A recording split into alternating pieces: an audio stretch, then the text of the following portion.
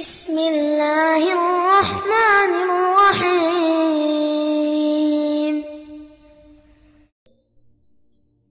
Orang yang tidak mempelajari akidah aswaja, dia tidak ikut kepada aswaja, apakah boleh dikafirkan? Nggak boleh. Ini dalam buku ini saya jelaskan orang Islam tuh nggak boleh gampang-gampang mengkafirkan orang lain, nggak boleh, nggak boleh mengkafirkan. Tetap kita mengajak, berdakwah, mengajak mereka, itulah Islam mengajak. Nggak boleh mengkafirkan. Kalau mengatakan bahwa ada firqah-firqah yang sesat, ya dasarnya dalil hadis Nabi. Nabi yang mengatakan bahwa umat Islam berpecah menjadi berapa? 73 golongan. 72 masuk neraka. 72 ini yang dikatakan firqah-firqah yang sesat dengan dasar hadis Nabi gitu. Tapi tidak dikafirkan, tidak. Kecuali nanti ada firqah-firqah yang memang sudah keluar dari agama Islam karena mereka menolak Al-Qur'an. Al-Qur'an ditolak, ya kafir. Atau dia nggak mau pakai hadis, Pokoknya semua hadis Bukhari Muslim nggak ada yang mau pakai. Ya kafir. Menolak hadis Nabi SAW yang sahih. Tapi itu pun yang menjelaskan ulama setelah sampai hujah, bukan setiap orang, bukan. Benarkah Wahabi itu senang mengafirkan kaum muslimin yang bukan pengikutnya? Ya. Ini Masya Allah ya. Ya. Ini paling banyak disebarkan ini dari masa dahulu. Bahwa Wahabi ini ya gemar apa? gemar mengafirkan. Dan Syekh Muhammad bin Abdul Wahab sendiri, beliau jelas dakwanya di dalam hal ini. Pada hal-hal yang beliau dituduhkan, ya dalam perkara yang seperti ini, beliau memberikan jawaban.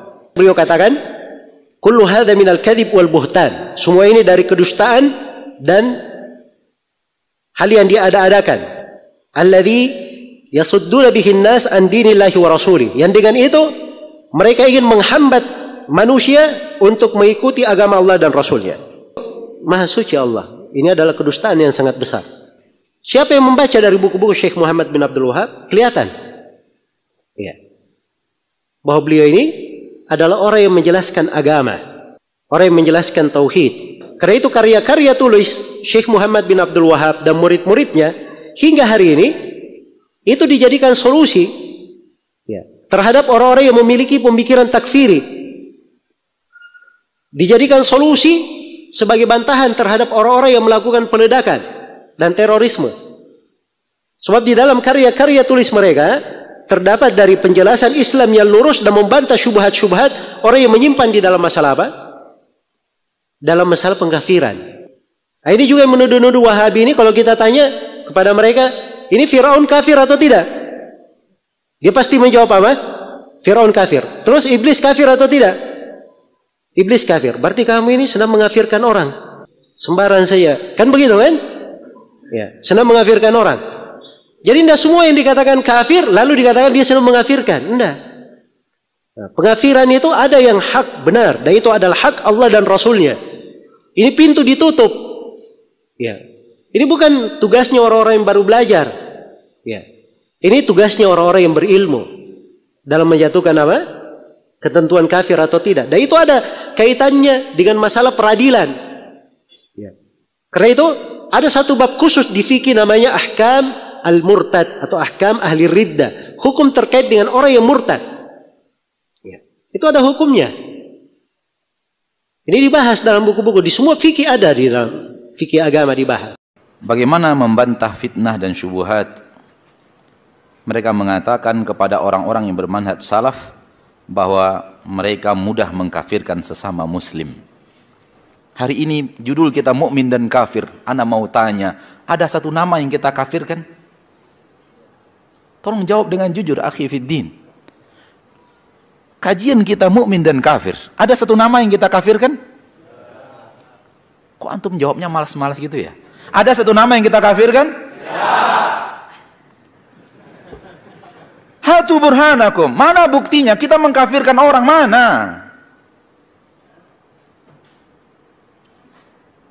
Kita mengatakan orang yang tidak beriman kepada satu ayat dari Al-Quran kafir.